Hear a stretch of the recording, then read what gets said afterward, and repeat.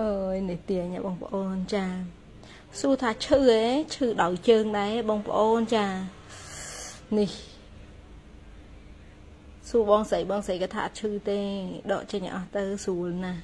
មកទៀតហើយបងប្អូន ចាបងប្អូនមកមើលជើងគាត់ចាកជាខ្យាញ់ធំមែនទែនបងប្អូនអើយចាឥ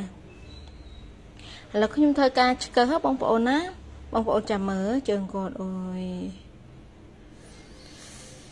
ពេលដកចេញប៉ុណ្ណឹងបងប្អូនអើយធូរធូរខ្សុយហ្មង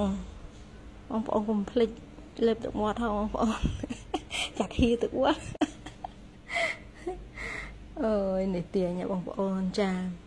សួរថាឈឺអេឈឺដោយជើងដែរបងប្អូនចានេះសួរបងស្រីបងស្រីក៏ថាអត់ឈឺទេដកចេញអស់ទៅស្រួលណាស់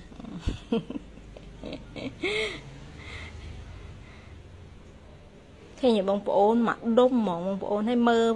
ដំបងធម្មតាដូចគ្មានជីក្រាញ់អញ្ចឹងចាឥឡូវខ្ញុំធ្វើការឆ្កើមួយចំហៀងទៀតណាបងប្អូនណាមេឃភ្លៀងអត់ដឹងទៅណានេះនេះមកមើលកញ្ចក់ថាឆ្ងាញ់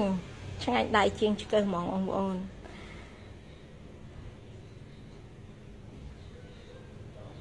គុំទុកឲ្យរីកបងប្អូនណាមកមកមកកាត់ចេញទៅប្រយ័ត្នតែឈឺហើមខ្ទុះហើយមិនងាយទេបងប្អូន អត់ចេះកាត់នៅនឹងហើមនៅនឹងខ្ទុះនៅនឹងចាអរគុណ